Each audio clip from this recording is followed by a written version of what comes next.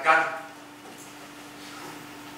kepada semuanya, saya percayakan hari ini pertandingan kepada kalian.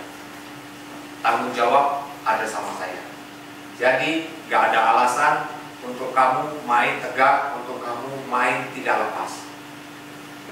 Main lepas, jangan takut buat apa pun yang akan kamu buat di lapangan. Tapi penting buat kalian ingat, setiap kamu terpancing emosi, maka kita akan selalu sulit untuk kemudian kita transisi untuk kembali normal lagi. Jadi tolong kamu jaga. Kamu ngotot harus, kamu fight harus. Ya. Tapi kamu juga harus ingat bahwa ini permainan yang membutuhkan konsentrasi. Ini permainan yang membutuhkan kita kepala dingin. Setiap menit akan menentukan apakah kita menang atau kita kalah. Dari hal yang paling sederhana, menahan emosi. Dari hal yang paling sederhana, kamu lakukan yang terbaik itu hanya konsentrasi, kejar lawan, konsentrasi, kalahkan lawan, konsentrasi untuk kamu hadang lawan, konsentrasi untuk kamu membuat gol. Jadi itu yang saya harapkan. Sekali lagi, jangan ragu dan doa dalam hati kamu dengan agama masing-masing untuk yang terbaik. Terima kasih dari saya. Ada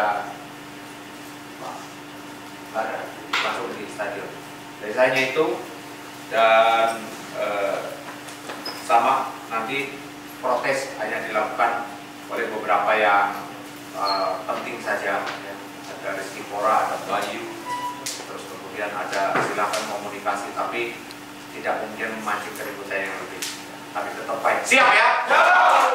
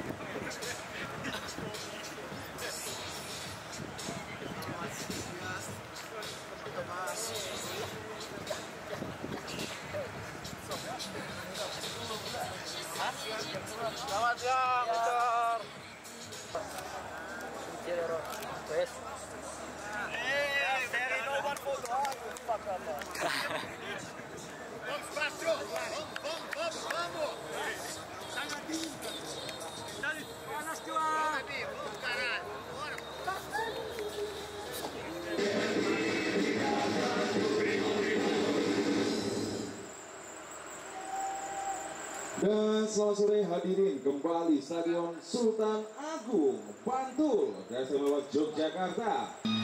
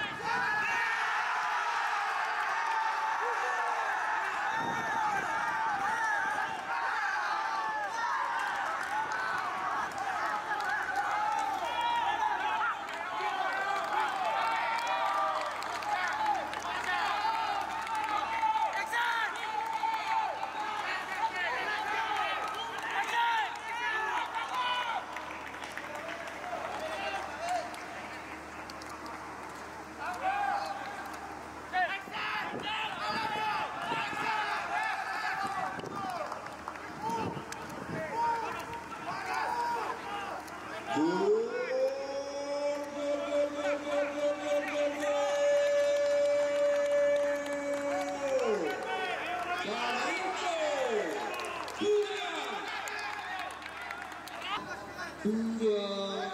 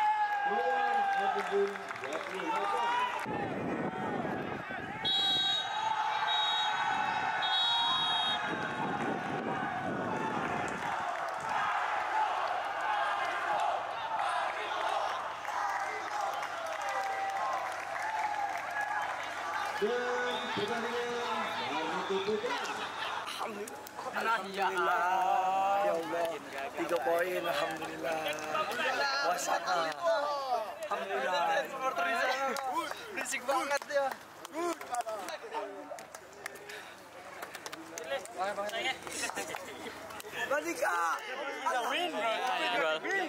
Debut ke mana debut? Debut. Bisa tiga poin hari ini berkat semua kerja sama tim. Ilmu padi ya bangku. Padi mantap. Osaka. Alhamdulillah. Mana halus mana? Mana halus nih gitu.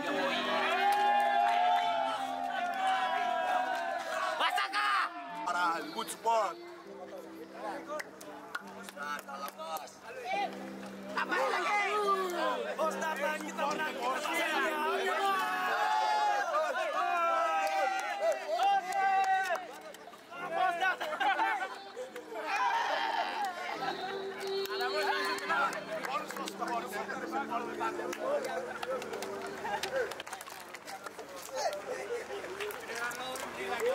Alhamdulillah. Tambah gede punya gangster. Semua pemain